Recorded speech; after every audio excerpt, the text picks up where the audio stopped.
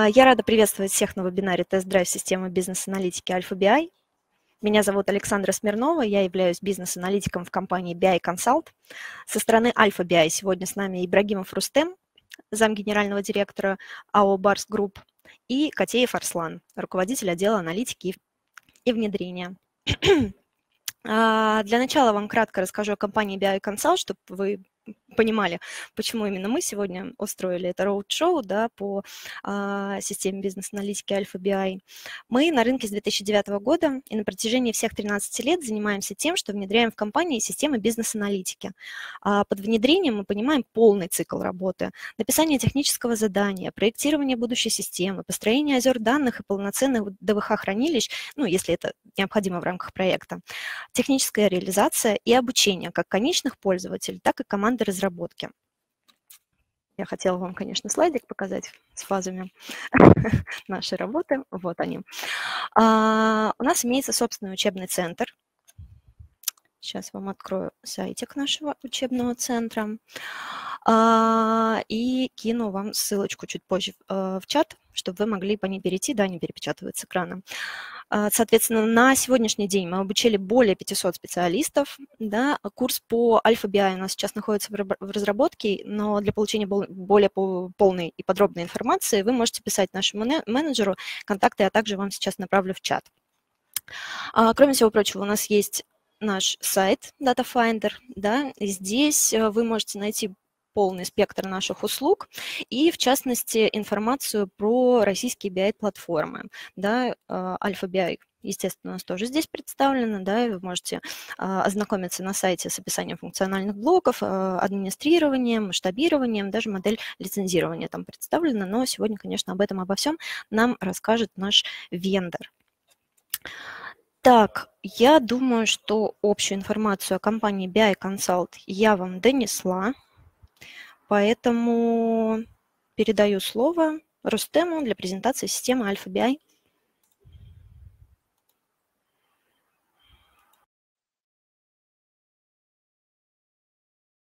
Так, добрый день, коллеги. А, рады всех приветствовать. Спасибо, что нашли в предвыходной день а, время участвовать а, в нашем роуд-шоу. Спасибо команде BI Consult за предоставленную возможность.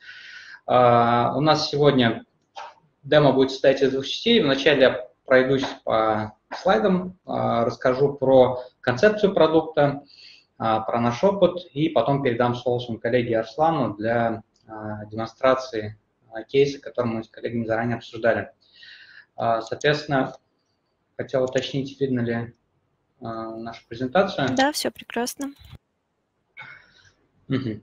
Так, компания Bars Group э, – это крупный федеральный IT, э, скажем, игрок, который занимается разработкой собственных продуктов, внедрением, работает как на федеральном, так и региональном рынках с крупными государственными корпорациями. На текущий момент наша, наша команда, она сосредоточена в 20 городах, в 20 офисах России. Там команда уже Э, превысила 2600 человек, очень крупный э, айтишный бизнес, и, соответственно, направление BI – это одно из направлений. Э, мы занимаемся разработкой собственной платформы и, соответственно, ее внедрением где-то самостоятельно, где-то с участием партнеров. Соответственно, там технологическая система компании достаточно широка, но вот сегодняшнее выступление оно будет больше с фокусом на теме BI. В общем-то, платформа Alpha BI – это классическая BI-платформа, закрывающая а, полный цикл работы с данными, начиная от построения хранилищ, доставкой данных туда, до, а, соответственно, построения систем а, управленческой отчетности. У платформы есть собственный сайт, она зарекомендовала себя как в государственном, в государственном секторе, это, в общем-то, мы с этого набора кейсов вначале начинали, это крупные федеральные сервисы э, Минздрава России в рамках единой государственной информационной системы здравоохранения, это Минфин России в качестве ряда подсистем электронного бюджета, а, там еще много э, клиентов, да, здесь мы всех не указывали. Потом, после этого мы стали развивать экспертизу и в B2B сегменте, в крупном корпоративном Ну, здесь вот, наверное, одним из основных кейсов стоит выделить российские железные дороги, где мы закрыли несколько очень успешных кейсов замещения SAP. Поэтому, если вот смотреть там, на класс решений, говоря вот про классический BI, мы видим себя в качестве аналогов SAP BI, IBM, Cognos, Oracle и Microsoft сервисов SSAS и reporting сервисов.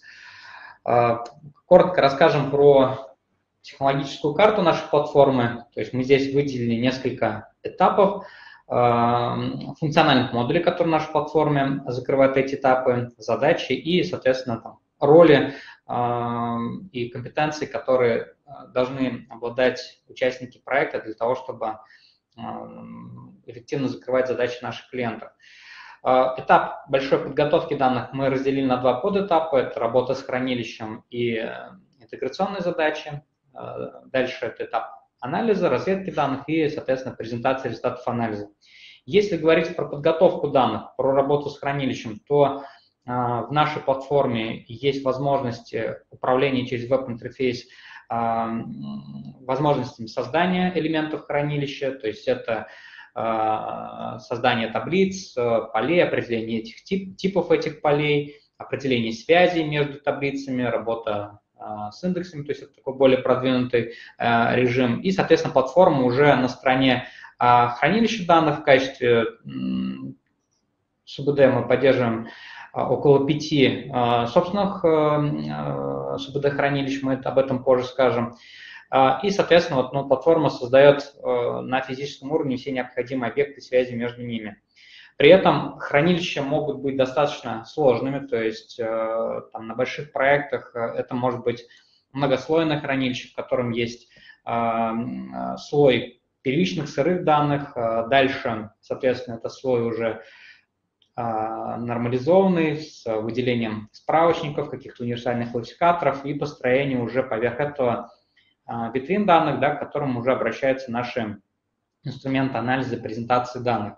А, нужно отметить, что при этом есть API доступа к этому хранилищу, и, а, соответственно, этот функционал, он рассчитан в первую очередь на специалистов уровня архитектора хранилища данных, либо дата-инженеров, поскольку в любом случае требуется понимание теории структуры хранилища, немного SQL, поэтому а, здесь мы в таком это видео указали. Дальше, когда готова а, структура хранилища, при этом хранилище может быть как нашим собственным, так и внешним хранилищем. То есть мы можем в, режиме, в лайф-режиме, обращаясь а, к внешним источникам, получать данные уже в наши отчеты без их предварительной прогрузки в собственное аналитическое хранилище. Для транспорта данных используется модуль ETL, это наша разработка она дает полный э, цикл инструментов обращения к различным типам источников. Это могут быть SUBD-файлы, э, веб-сервисы. А далее есть очень широкий набор процедур трансформации данных, ну, от простых там джойны, э, юнионы, э, там, сортировки до менее э, таких, так скажем, популярных, как э, архивация, либо там, заполнение пропусков, очень широкий набор э, операций, связанных с созданием расчетных полей э, и так далее. Ну и плюс, соответственно, данные мы можем грузить э, либо в собственное хранилище, либо его отправлять веб-сервисами во внешние источники. Этот функционал тоже рассчитан на архитекторов, дата-инженеров, поскольку чаще всего требуется понимание спецификации веб-сервисов, того, как устроены таблицы в БД, и э, нужно порой используется в том числе SQL, хотя в нашем интерфейсе есть большой набор готовых блоков, где в режиме drag-and-drop аналитик вполне может э, настроить пайплайн ETL, определить настройки и, в общем-то, получить требуемый результат. Но в том числе есть и инструменты там, для более продвинутых пользователей. Все, соответственно, мы построили э, хранилище, либо обратились к внешнему, внешнему хранилищу, определили так скажем, а, объекты, и мы можем уже работать с ними, анализировать. Есть это уже интерфейс э, бизнес-пользователей для осуществления там, произвольного анализа. То есть мы подключаемся к нашему хранилищу, мы можем проводить как а, такой, так скажем, tabular мод, э, работа с плоскими источниками, так и с многомерными. А, тут стоит отметить, что помимо работы там, с реляционными таблицами, у нас есть возможность еще поверх них строить многомерные кубы, а, определяя вот этот многомерный контекст измерений, меры, атрибуты и, соответственно, работать а, в привычном для многих режиме сводных таблиц. Плюс стоит отметить, что кроме тех инструментов работы в веб-интерфейсе, это я имею в виду ALAP, анализ плоских таблиц, у нас есть еще возможность подключения через XML протокол через интерфейс Excel к той же самой структуре хранилища многомерной, где мы уже, используя весь инструментарий а, Excel, можем работать с кубами. Но стоит отметить, что мы поддерживаем не только а, Excel в экосистеме Microsoft Office, также есть возможность работы и через LibreOffice, OpenOffice, поэтому это тоже отличная альтернативная возможность, особенно для тех проектов, где большое количество пользователей привыкло работать с Excel и не склоняется пока к переходу там, альтернативном а, веб-интерфейсе.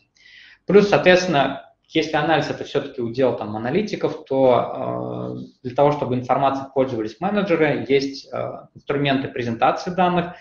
Это регламент, регламентированные отчеты аналитические панели, и они в Alpha у нас э, заложены в той функциональности, чтобы обеспечить наиболее близкое соответствие тем макетам, шаблонам, которые либо приняты в организации, либо подготовлены командой дизайнеров – Здесь а, инструменты, они больше обеспечивают а, функциональность Pixel Perfect отчетности, когда нужно максимально точно соответствовать а, ожиданиям клиента.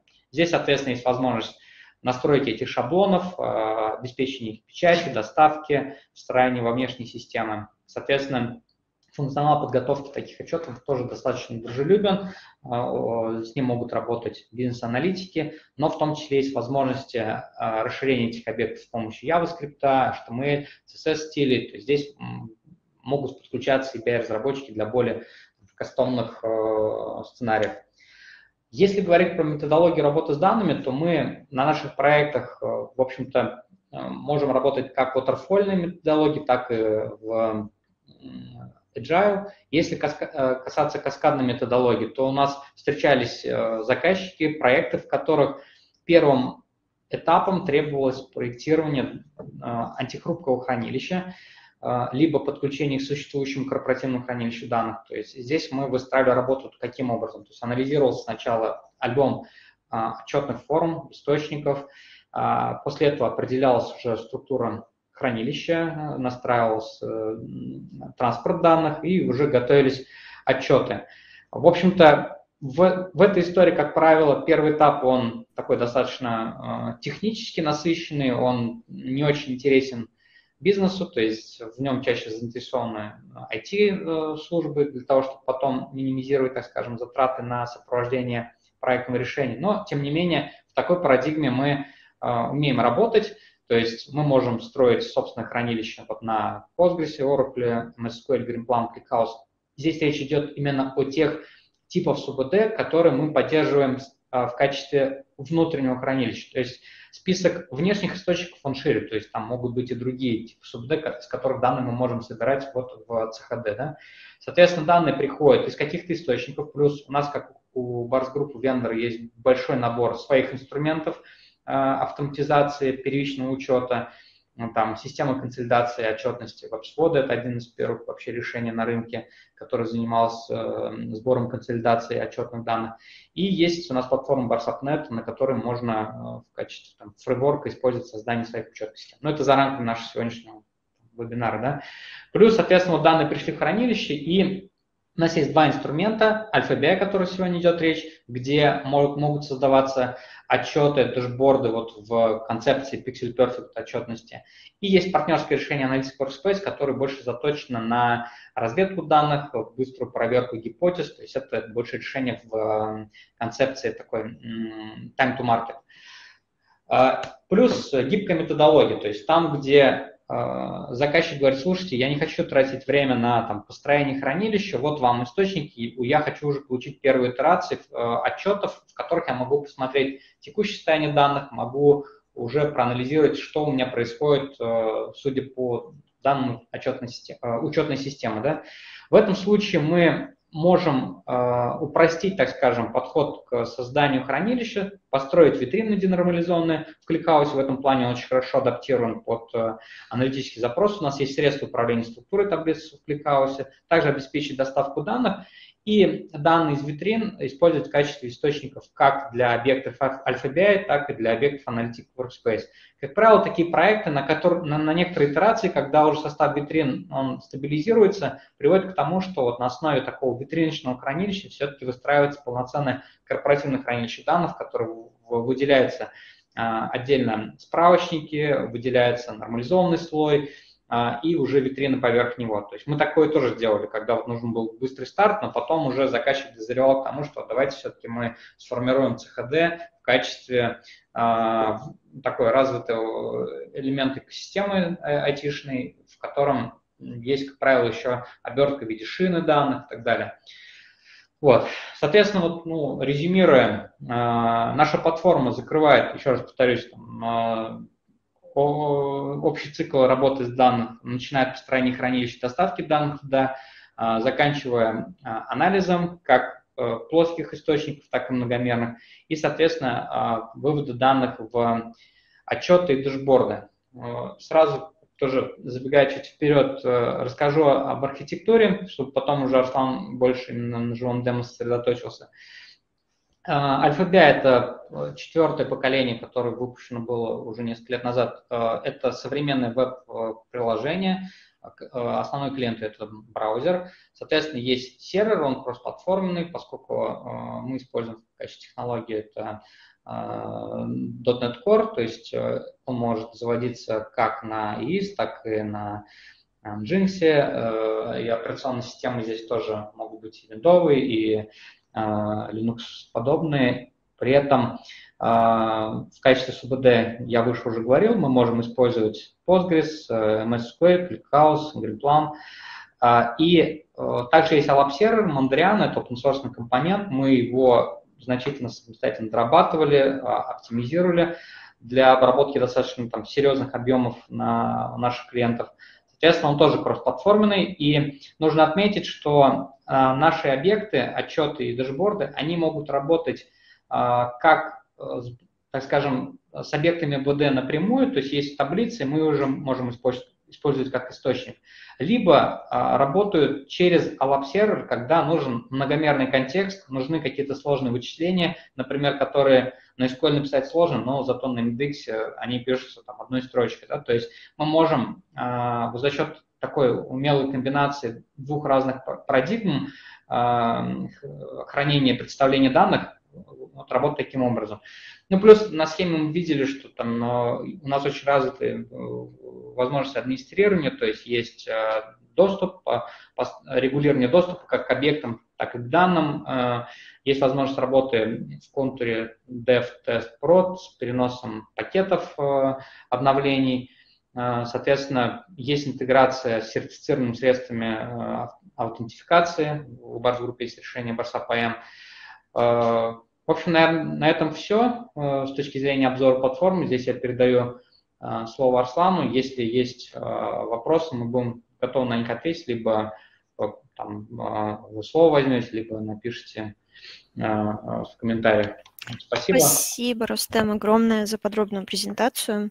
Прежде чем Арслан при, перейдет к, о, к демонстрации системы Альфа-BI, я проговорю орг-моменты, чтобы все наши слушатели да, были в одном информационном поле и никакие вопросы не были пропущены. Давайте задавать их а, в блоке «Вопросы». У площадки вебинар да, есть отдельно вкладочка «Чат», если вы посмотрите там наверху, да, два таких облачка скрестных, а рядом облачко с вопросиком. Вот будьте добры, пишите их туда, чтобы вот нам не потеряться, и там будет проще, соответственно, нам оперативно вам отвечать руками, скажем так, чем голосом. Вот. Э, если вопросов будет много или какие-то вопросы будут довольно объемные, я, конечно же, между блоками буду делать некоторые паузы, паузы и зачитывать их. А теперь, да, все, передаю слово Арслану для демонстрации. Спасибо. Коллеги, здравствуйте. Меня видно, слышно? Да, все прекрасно. Отлично. А, так, начнем с самого начала, то есть по сценарию нам м, обратился, представим, некий Михаил, ну, здесь, то есть мы, а, так скажем, домашнее задание выполнили, и хотим показать вам, как оно выполнялось, какие результаты были достигнуты, чтобы там степ-бай-степ все этапы мы а, прошли вместе. Вот, и как театр начинается с вешалки, аналитическая система с окна авторизации мы а, проходим через, а, собственно, эту страничку. Работа вся идет только в веб-клиенте, поскольку это а, веб-приложение. Входим. И здесь а, сразу видим, что получилось. Это итоговый дашборд, но мы сейчас расскажем, как мы до него а, дошли. Как а, рассказывал недавно только что Рустем, а, а, в системе а, есть свои настройки безопасности, которые позволяют а, разграничивать доступ к системе как на уровне, так скажем, функционала. Допустим, кто-то будет работать только с ETL процессами, кто-то создавать дашборды отчеты, а кто-то их только скачивать. Также есть возможность разграничения прав доступа на уровне типов объектов, то есть до каких-то конкретных отчетов. И также есть э, полноценный Row Level Access, где мы вплоть до строчки этот доступ можем ограничить. Э, Экспорт-импорт э, также немножко продемонстрирую. Это также основной функционал системы, где мы сможем э, в виде JSON-объектов все созданные объекты скачивать и между контурами мигрировать. И еще из основного, с чего ну, следует начать и знать, это что есть возможность создавать соединения для подключения, собственно, к сторонним э, серверам, э, к базам данных, которые мы будем использовать в качестве источников. Вот, это такая, ну, административная важная часть, и теперь непосредственно к работе. Ну, здесь в качестве примера можно посмотреть, как оно создается, идет проверка подключений, и ну, вот в боевых решениях у нас таких ну, там, десятки подключений одновременно работающих. Итак, а, навигация в системе осуществляется посредством верхнего меню, она достаточно гибкая, настраиваемая, настраиваемая под конкретную роль либо конкретного пользователя. А, Здесь есть воз, возможность как а, перейти в раздел по какому-то функционалу, допустим, к списку отчетов, который мы сегодня посмотрим, либо сразу получить а, какие-то объекты на скачивание, на просмотр, то есть уже для работы с конкретными объектами системы. Это все достаточно гибко настраивается. А теперь, что касается самого внедрения и как здесь осуществляется работа.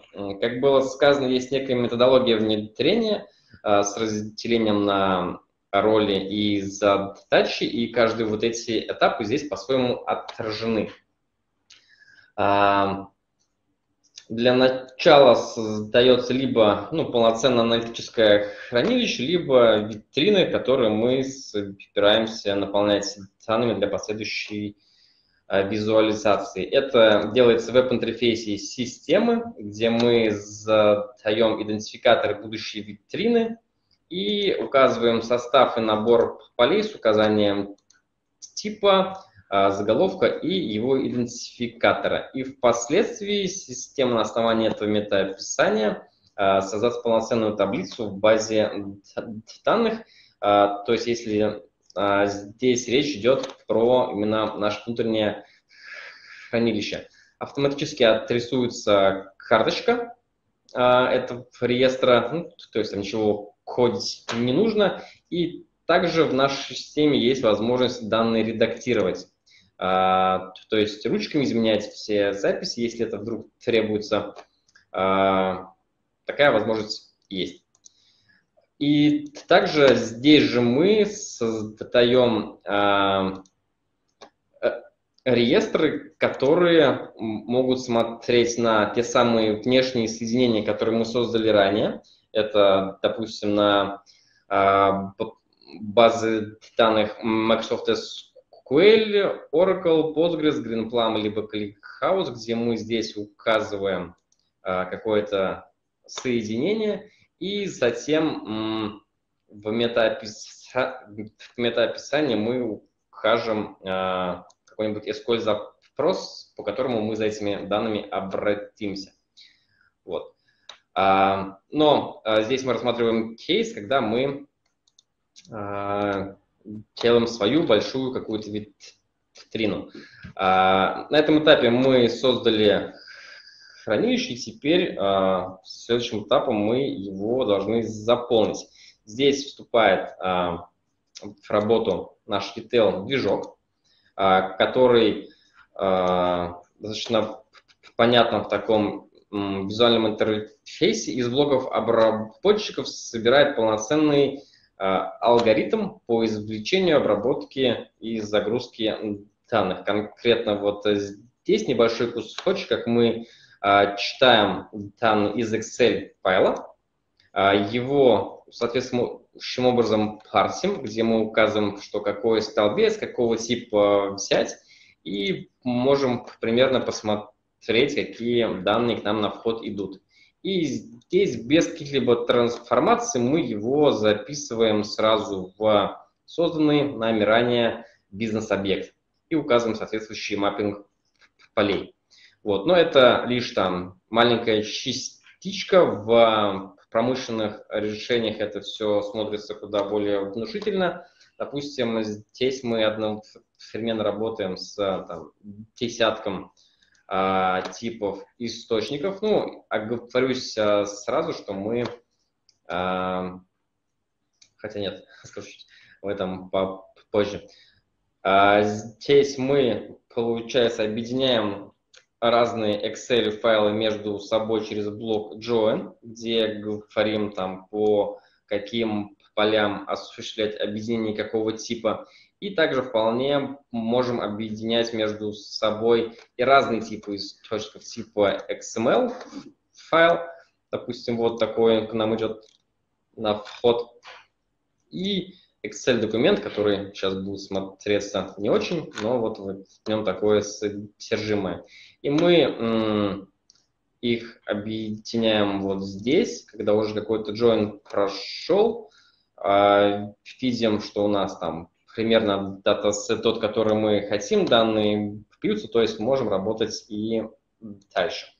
А, как было сказано чуточку ранее, мы поддерживаем практически все популярные э, реляционные СУБД в качестве источников данных, также веб-сервисы по REST API либо SOAP протоколу, либо сможем спрашивать почти все популярные а, структурированные файловые форматы. А в текущем задании, которое мы а, реализовывали, а, источник данных был из числа непопулярных. Это был файл из SUBD Access, и мы его конвертировали вот в Excel и таким образом загрузили. То есть, ну, вполне рабочий workaround.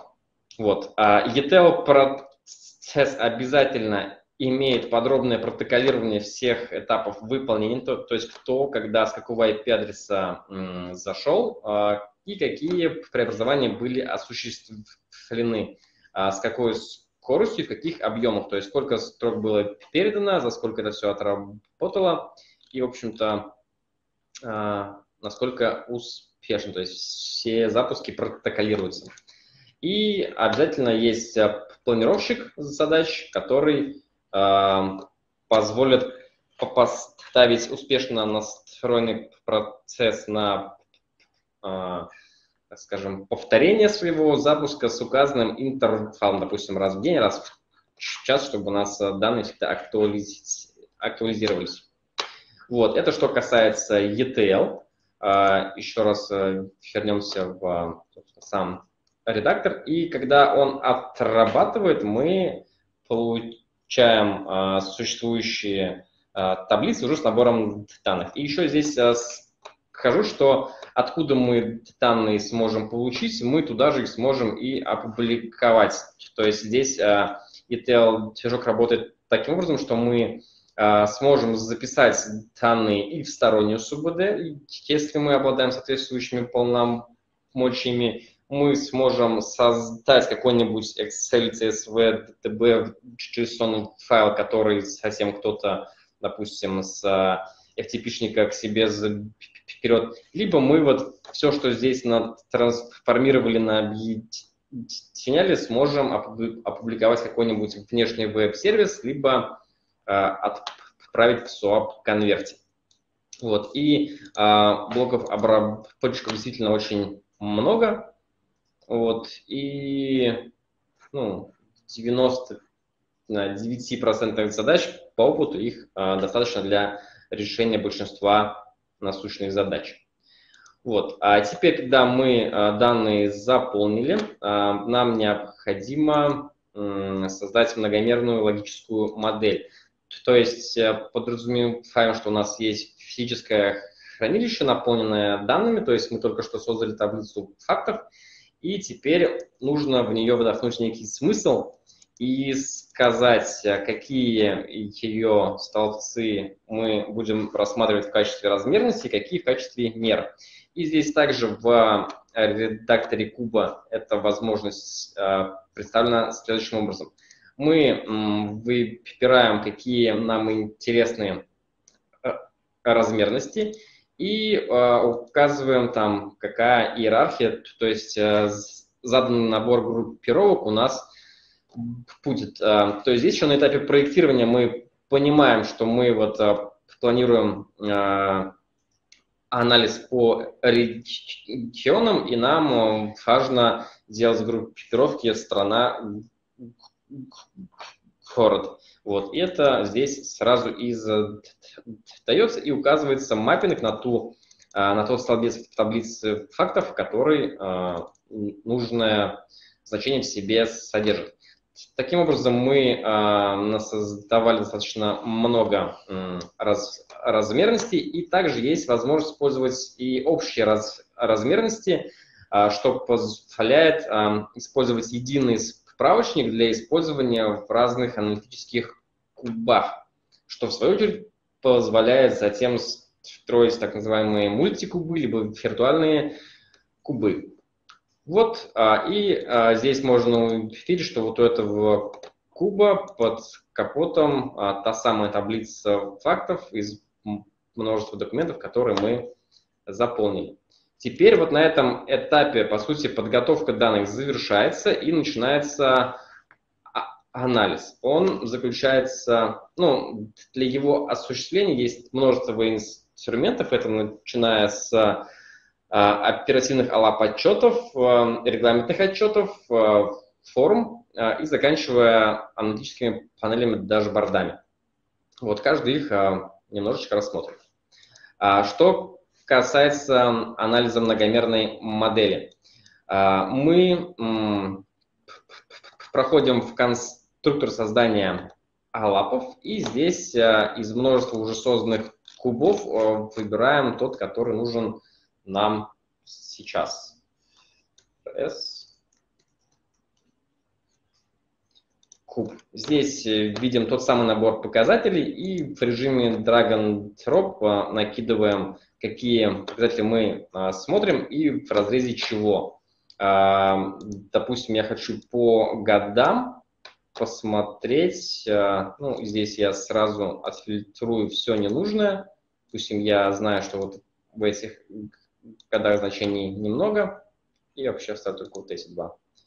И там по а, странам, и там какие категории товара Э, в каком количестве находились.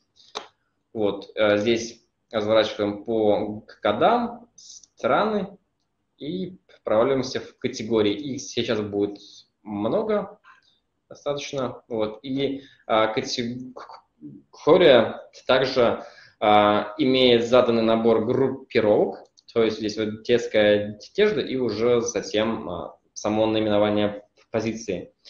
Есть возможность скрыть пустые значения, чтобы на, не было пустых пересечений. Вот. И в стороне также видим а, заданную иерархию по страна и город. То же самое по году и месяцу. И вот классический алап, который мы можем группировать, сортировать совершенно по-разному. А здесь у нас есть несколько заготовленных примеров, которые ну, более предметно раскроют а, суть и возможности этого инструмента. Допустим, продажи компании, где мы делаем следующую группировку и кроме а, существующих, а, так скажем, показателей еще имеем возможность создать и расчетные показатели. А, в них а, мы меняем не столько логику расчета, сколько можем добавить а, формат значения и режим, собственно, отображения. И вот такие отчеты, поскольку они, ну, мы никогда не знаем в конце, в каком виде они будут, но мы всегда имеем возможность их скачать в Excel. Потому что Excel все-таки любят все, это достаточно распространенный инструмент, у всех, и все любят вот к себе скачать и уже потом в нем работать. Мы также эту возможность даем именно в том а, фиде, как мы куб наш а, а, сформировали, в том же виде и отчет будет скачан.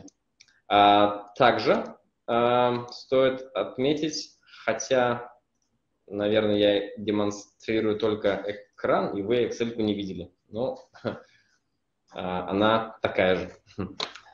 А, теперь, а что касается еще расчетных э, элементов, мы создали такое представление, как скидка и накрутка, так как две а, сестры.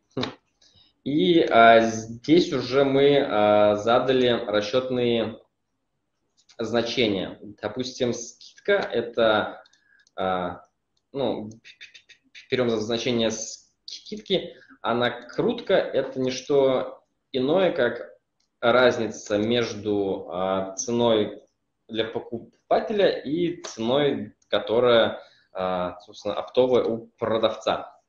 Вот. И в таком виде в MDX а, формате есть возможность написать, на самом деле, любое расчетное выражение, потому что это очень а, богатая спецификация, и в системе теме есть соответствующие подсказки.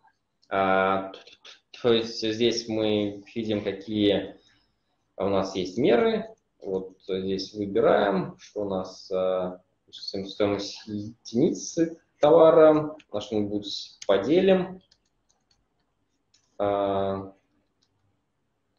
и, собственно, ну, вернем ту формулу, которая была.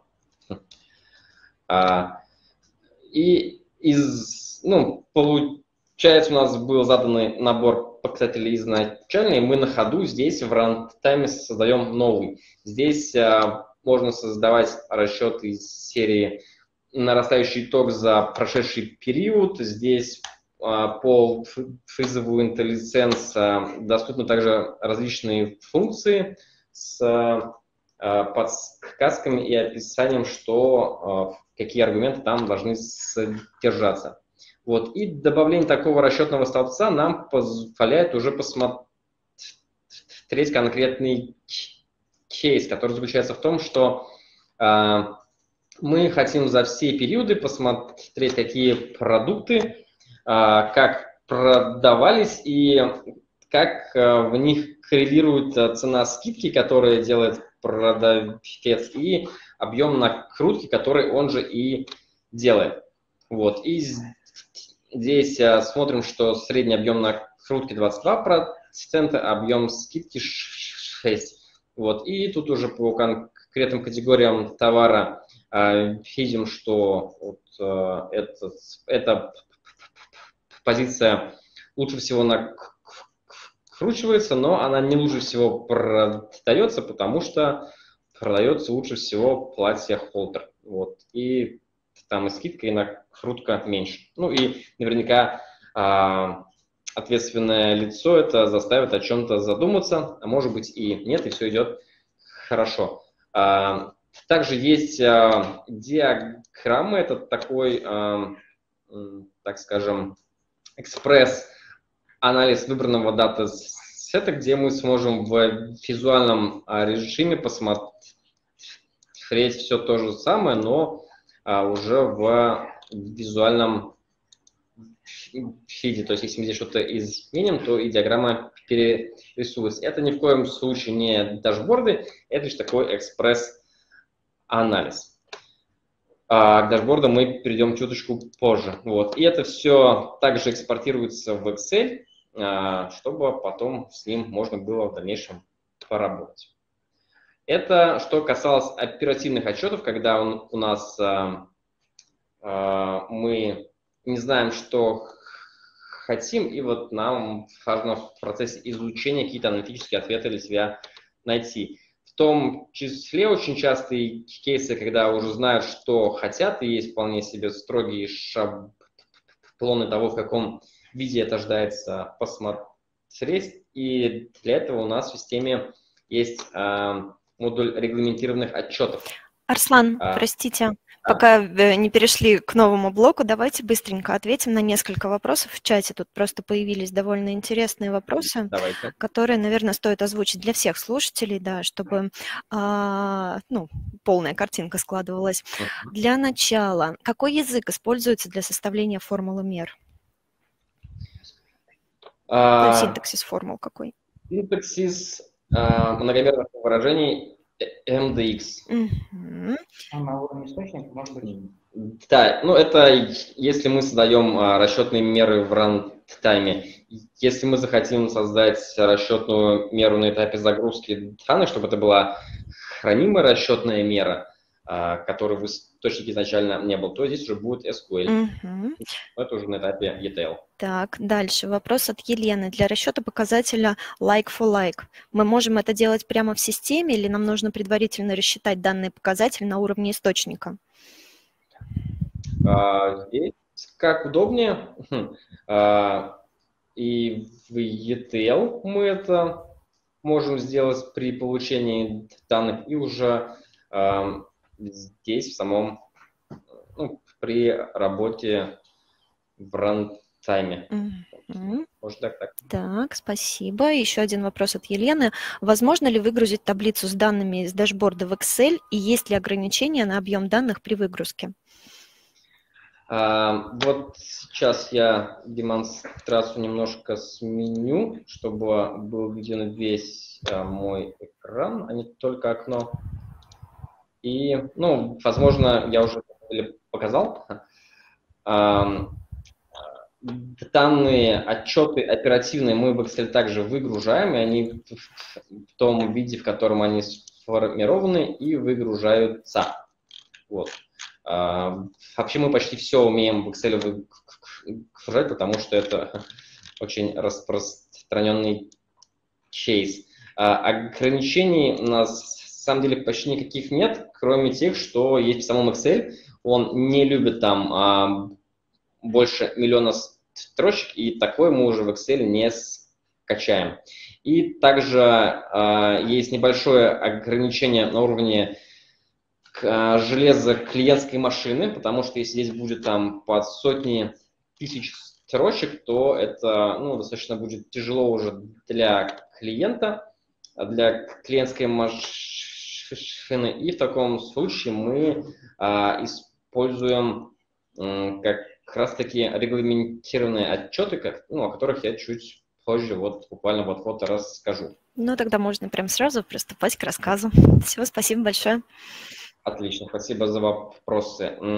Когда речь заходит уже об отчетах строгой формы, а вот мы их достаточно часто встречаем, работая в государственном секторе, а, то в ответ на эти запросы мы реализовали компонент регламентированных отчетов, который очень похож на Excel, и действительно а, большинство самых популярных функций он в себе дублирует. И по технологиям это схоже с Google таблицами, здесь подобные же ну, алгоритмы реализованы. И а, здесь есть возможность создавать множество страниц отчетов, а также использовать различные переменные ну, из, из источников, а, либо использовать какие-то расчетные формулы на языке Excel. Вот, но они именно на английском языке, то есть не если, а if. Вот. А, ну и вот в таком режиме они все будут работать. И в качестве источника данных здесь как раз используются либо наши многомерные таблицы, они же ALAP, либо мы сможем а, здесь напрямую подключиться вот к, к внешним СУБД, к которым у нас настроено соединение, и написав SQL запрос, подтянуть данные сразу оттуда.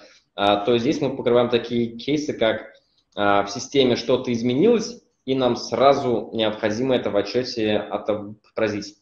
Вот. А, либо по классической схеме, где мы к множеству источников подключаемся, ETL отрабатывает, данные консолидируют, и мы затем смотрим уже в таком общем виде. Вот, собственно, здесь мы любую структуру у нас настраиваем и отдельно под него рисуем шапку. Например, как это у меня сделано вот в этом счете, где достаточно ну, многоуровневая шапка, какое-то название и создается под него соответствующим образом представление, и все.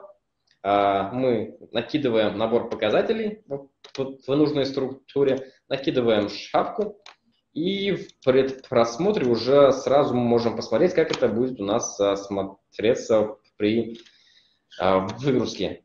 А, здесь на ходу что-то можно немножечко подкорректировать, выделить. Естественно, на основной шаблон это никак не повлияет. Что-нибудь дописать и экспортировать в Excel. И Excel, собственно, в том виде и формируется.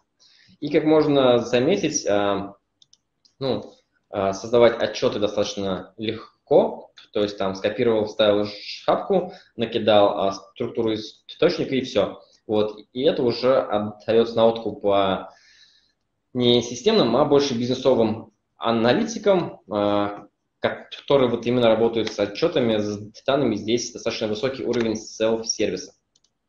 А, и здесь же есть а, возможность а, в свойствах указать способ формирования отчета либо на клиенте, либо на сервере. На клиенте означает, что вот именно сам файл будет формироваться силами браузера пользователя. Это существенно снижает нагрузку на сервер и позволяет работать ему в ну, многопользовательском и высоконагрузочном кружном режиме. Либо, если у нас есть какой-то один большой, там, несколько больших тяжелых отчетов, то мы э, можем их на сервере формировать, тем самым какие-то ну, объемные операции уже э, машина будет забирать на себя, а мы только скачивать объекты. Вот здесь все достаточно гибко и под э, ну, любой сценарий это регулируется. А, есть еще множество примеров а, не на этой схеме вообще, которую мы реализовываем. Часть я еще покажу. Это вот а, такие с условным форматированием, либо обязательно это с выбором параметров, где мы перед тем, как скачать, можем указать там, допустим, только по доступным организ... организациям и более того, список этих организаций будет доступен согласно э, полномочиям э, пользователя, чтобы не было возможности скачать то, что тебе недоступно. Вот. Ну, и ты всегда увидишь то, что тебе доступно, и ты захотел увидеть. Вот. Ну, это примеры отчетов, они э, достаточно ну, сложные. Иногда мы сами удивляемся, что какие интересные они могут быть, потому что они уже не нами остаются. Да. И обез, обязательно есть возможность использовать несколько источников а, в одном отчете, то есть комбинировать информацию как из разных кубов, так и из разных таблиц и вообще из разных СУБД. А, это все вот на одном листе. Вот таким образом там мы добавляем, настраиваем какие-то объекты, вот, и они уже в отчет также попадут. Это, ну, вот именно комбинация множества источников на множестве листах, вот она э, дает достаточно большое разнообразие. Ну и различные функции по шрифту, э, размеру, начертанию и так далее. Вот, ну, я думаю, здесь э, с этим функционалом мы разобрались. А теперь еще из, одним из интересных а, объектов является форма вывода, а, которая не имеет многомерного контекста такого же, как ALAP, но позволяет вот а, большие такие портянки данных себе загружать, и по ней очень удобно что-то фильтровать, отсортировывать, потому что вот а, подобные а, задачи ну, по фильтру, поиску и сортировке датасетов, они достаточно э, частые, и там многомерного контекста не нужно. И здесь же есть э, возможность группировки, допустим, по э, строкам с указанием типа итогов. То есть это ну, полноценная, по сути, сводная таблица. Вот, вот, вот. И обязательно, как всегда, без этого никак, экспорт в Excel а, с обязательным сохранением а, форматирования. Вот. А, ну и это все также, конечно, создается в самой системе, ну, достаточно лишь обученным аналитикам навыки разработки здесь не нужны. И еще одним инструментом визуализации и анализа данных является конструктор аналитических панелей, а, который состоит из набора виджетов и диаграмм, и для которых нам на этапе создания важно определить а, источник данных.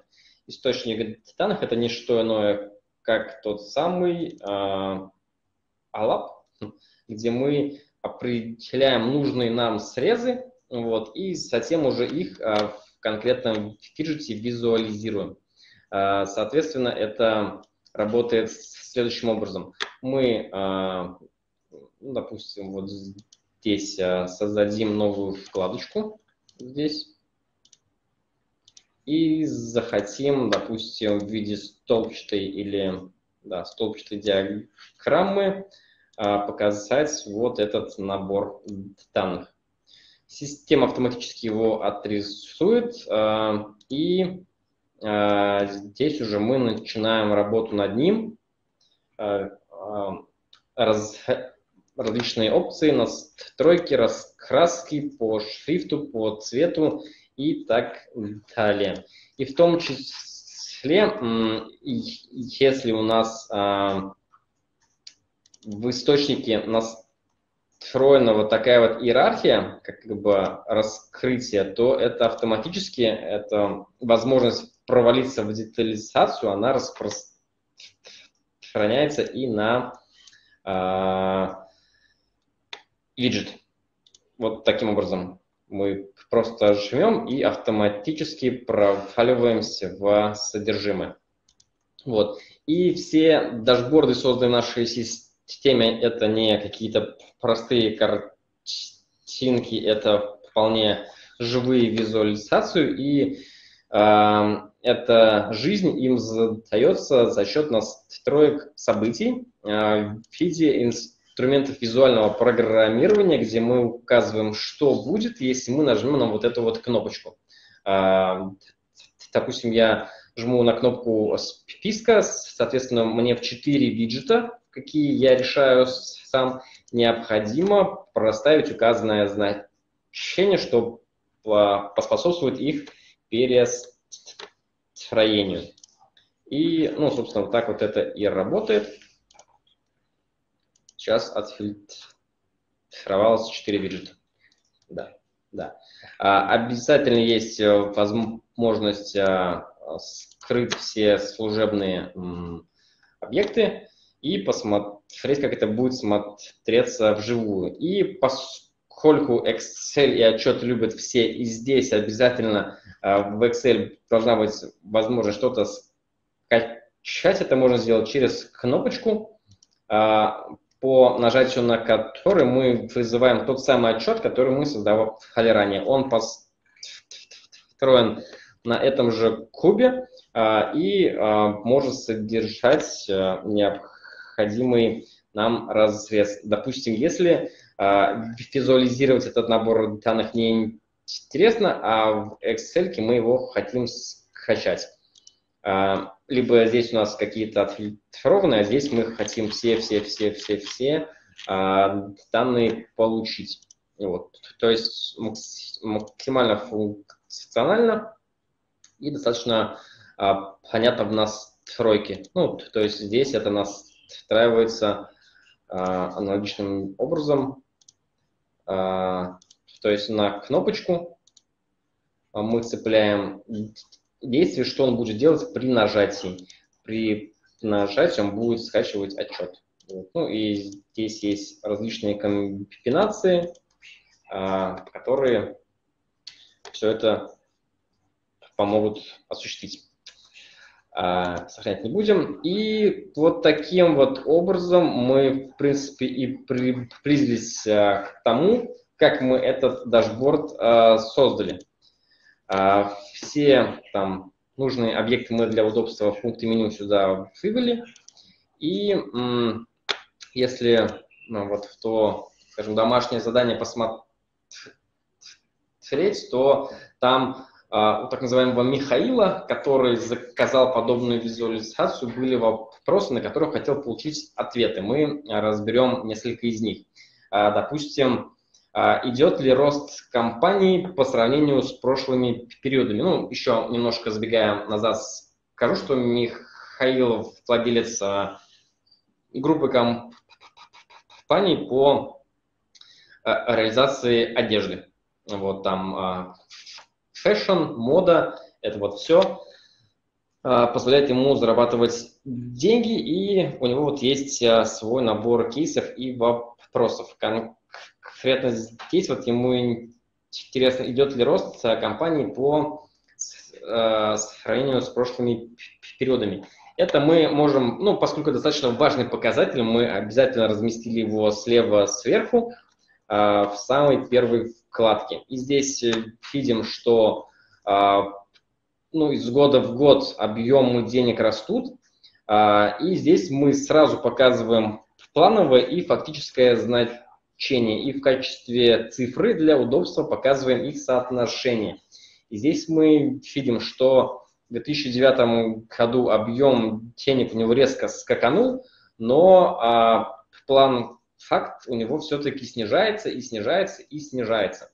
Вот, а, я надеюсь, что мы получили данные только на начало 2010 и там у него все будет а, на уровне, но в целом видим, что объемы растут, но, так скажем, качество и рентабельность, она, ну, да, все снижается и снижается по чуть-чуть, но стабильно. Вот. Это же касается и в целом э, по выручке, которая снижается еще более существенно. Э, ну и здесь там про функционал, про фильтрацию я уже не буду особо углубляться. А, теперь его интересует, а, какие заказчики наиболее прибыльны в товарной категории женская обувь в США. А, для ответа на этот вопрос мы вывели фильтры, где можем выбрать а, США и категорию товара. Вот, она у нас называлась женская обувь. Вот, и здесь мы видим, что ну, здесь, наверное, не заказчики, а какие магазины. Это вот а, два магазина, а, а, ну, они вообще работают с этим, и один из них максимально прибыльный. Еще интересно, что если мы ну, вообще сбросим все фильтры, увидим какой, какая прибыль конкретной компании, ну, вообще по всем категориям и за все хода в соотношении прибыль и выручка. И мы здесь же сможем быстро переключиться на процентное соотношение того, какой вклад эта компания вносит в общий объем денежной массы. Здесь мы видим, что Елисейские поля, ну, они почти 30% общей прибыли и выручки создают, и это, ну, собственно, а, доказывают почти все графики. А, и теперь еще из интересного, есть возможность углубиться вообще в каждого человека, там, продавца, естественно, если подобная информация есть в источнике. И здесь а, задача посмотреть, смотреть, есть ли менеджеры, которые достигают своих объемов а, только за счет скидок. Вот, а здесь у нас список всех сотрудников а, в столбце объем продаж в линии скидка, ну, потому что это а, свои единицы измерения, их обязательно нужно таким образом расположить. А продавцы у нас вот эта категория людей, и мы смотрим, что лучше всех работает вот этот молодой человек – а хуже всех вот эти двое. И объем скидок, которые они оказывают на свои товары, почти ну, идентичный. Вот. И сможем смело сказать, что скидка не так уж и влияет на, так скажем, ходовые качества продавцов. Вот в их арсенале наверняка гораздо больший набор а, инструментов. А, и напоследок, а, допустим, вкладку «Факторы», где мы э, сможем э, посмотреть, в какое время года какой вид одежды продается и там, не знаю, в каким дням недели э, лучше раскупается тот или иной товар. Вот, но не по всем могут быть данные. Вот, это по системе почти все. И вот Подрезюмирую, хочу сказать, что система хорошо справляется с текущим планфактным анализом, а, и ну, она действительно в этом хороша, ее акцент именно вот на создание отчетов в Excel, и ну, также достаточно неплохие получаются даже порды, да. А в то же время вот у Михаила была потребность посмотреть, что будет, если и уже немного там помоделировать происходящее и по, ну, по помоделировать и попрогнозировать ситуацию. А, достаточно хорошо этот инструмент развит в Excel, и мы поэтому у себя его не дублировали, а сделали вот ту взаимосвязь, о которой рассказывал Рустем. И мы можем взять а, любой Excel Excel-документ и подключиться к нашей системе следующим образом.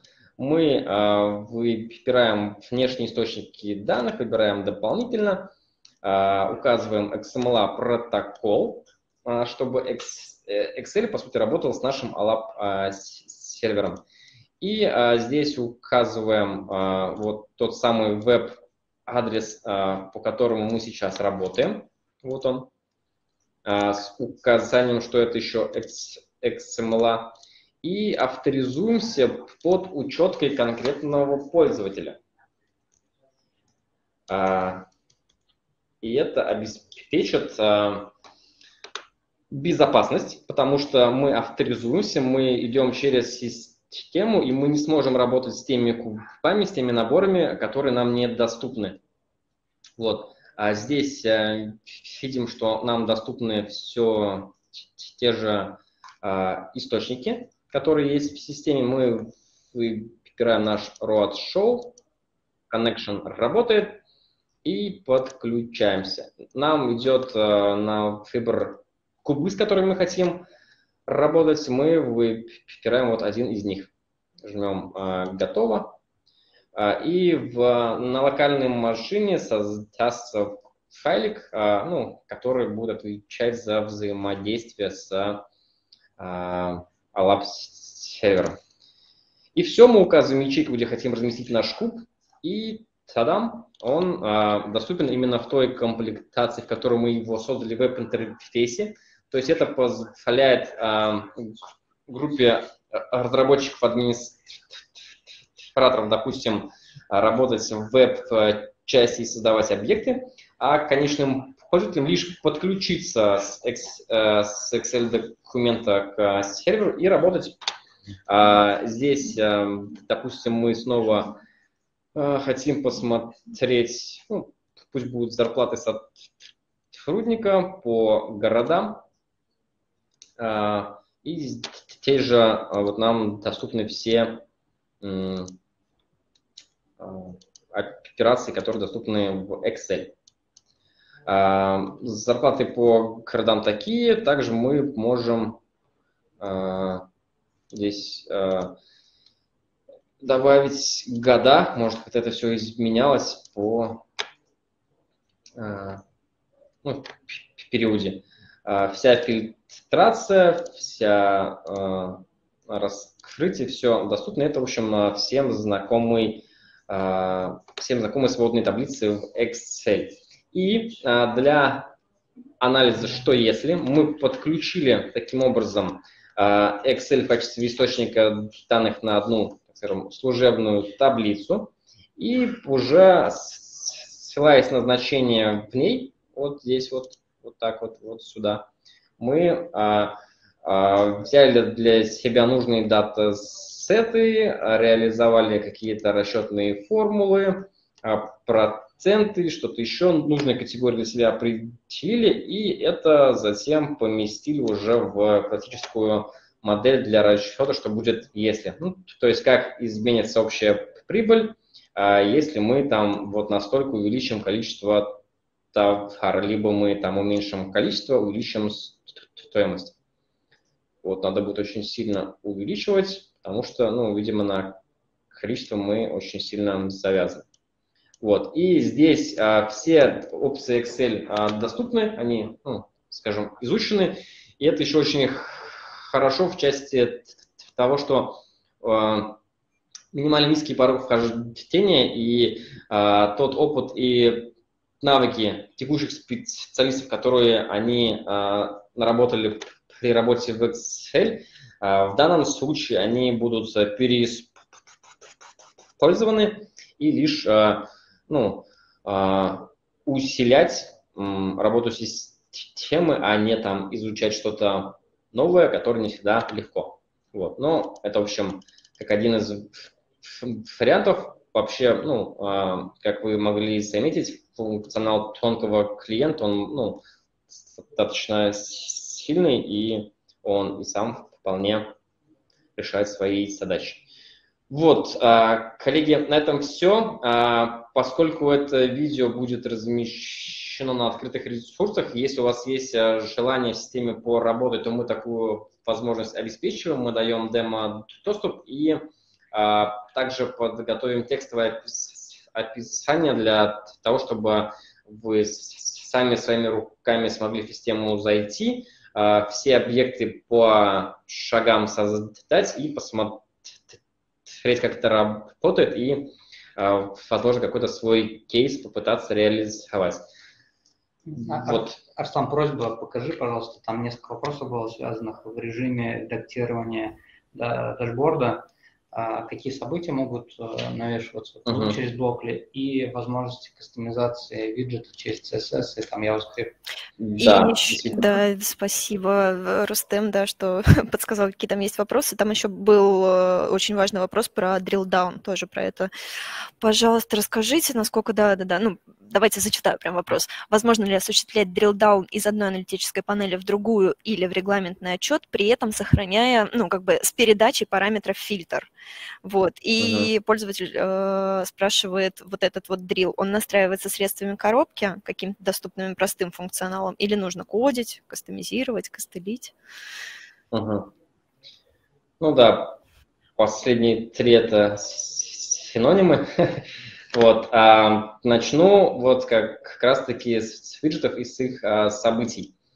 А, событий есть всего два. Это, ну, на текущий момент это вполне достаточно. Это при инициализации, то есть при открытии, а, допустим, где нам нужно получить текущую дату, на которую открывается даже порт, и все взять и отфильтровать, либо при нажатии на конкретный э, элемент. Вот, и уже здесь ну, а, контекст и все происходящее в это событие передается. А то, какие есть обработчики событий. Есть э, ну, а, два, так скажем, типа. Это изменение вот текущего состояния даже борда путем передачи значений в какие-то фильтры и вызов действия системы.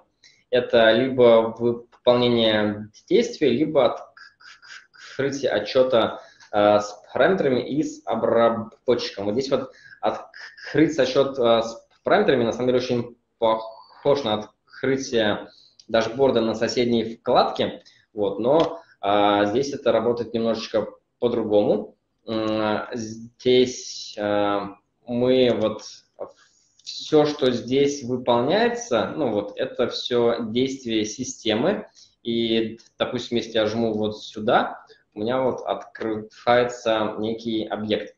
Э, это, ну, называется действие системы. И мы можем сделать так, чтобы по нажатию на кнопочку рядом открывался дашборд, и это работать, ну, таким образом вполне будет. А если мы хотим уже контекст еще туда перекинуть с фильтрами, то здесь будет немножечко по-другому. Здесь нам а, нужно будет открывать а, дашборд по вкладке в браузере.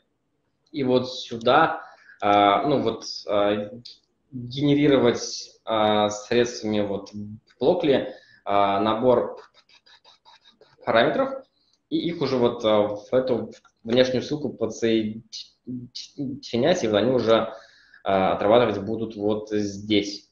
Ну, в общем, можно, но не, так скажем, чуть-чуть, чуть-чуть нужно будет, да, по мелкому моторику рук развить, чтобы это заработало.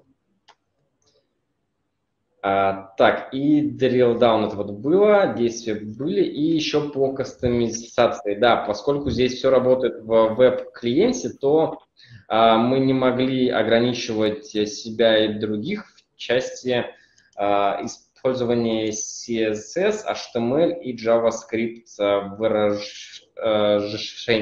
А, здесь вот ну, у дашборда есть свои настройки, как мы сможем к конкретному элементу подцепиться, чтобы всю там верстку не переделывать. И ну, у нас это все в документации достаточно подробно описано. А, также есть вот э, возможность, вот сейчас покажу, а, подобные вот индикаторы, они задаются через а, HTML. Так, содержание. И вот здесь дивки, классы и значения, они прописываются. Здесь как бы любой HTML можно будет написать. Ну и также есть возможность а, вызвать JavaScript, но это, естественно, а, ну, нужно делать максимально вдумчиво и безопасно. Спасибо. И последний, наверное, вопрос, э, тоже, мне кажется, полезный послушать всем, ответ, если на него, всем слушателям. Можно ли аналитическую панель сделать живой, настроить, допустим, автообновление всех виджетов каждую минуту, без необходимости обновлять страницу?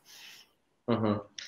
А, да, как раз это вот можно сделать на JavaScript, чтобы он, как скажем, ну, а, через какой-то промежуток обращался к источнику, как бы, ну, а, вызывал рефреш всех вот фиджетов. Так сделать можно, но здесь пока мы это в настройки не выводили, но в JavaScript это можно будет написать.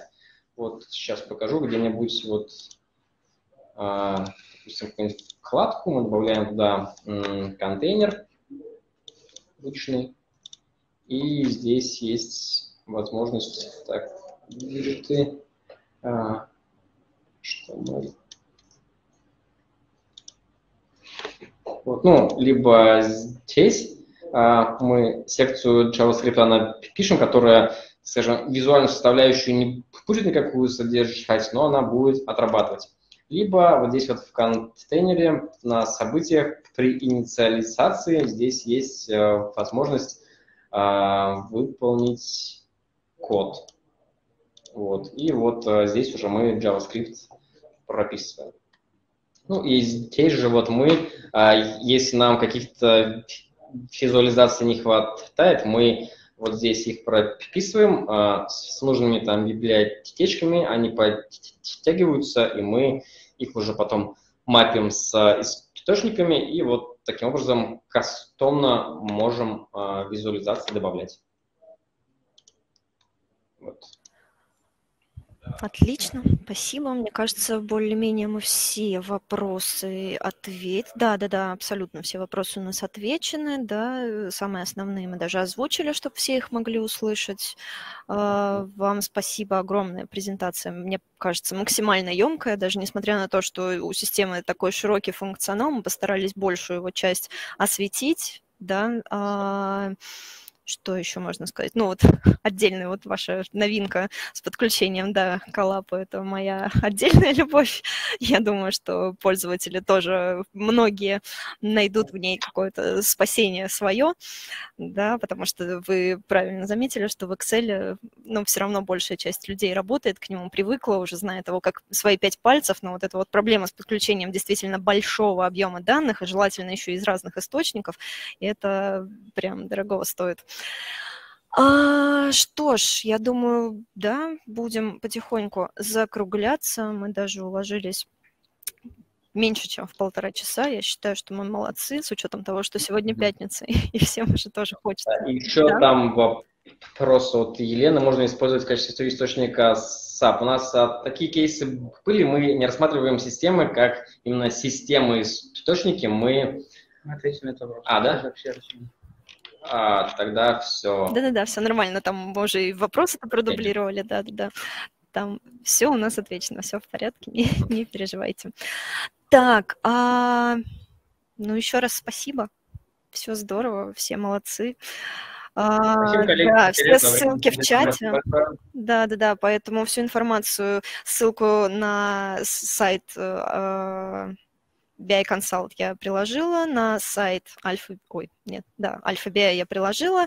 А, каким образом получить до, до, доступ я тоже скинула, да, если будут вопросы по обучению, а, все ссылки тоже в чате. Все, спасибо всем большое, всего всем доброго. Да, хорошей пятницы. Всего хорошей пятницы, хороших будущих выходных. До свидания. До свидания.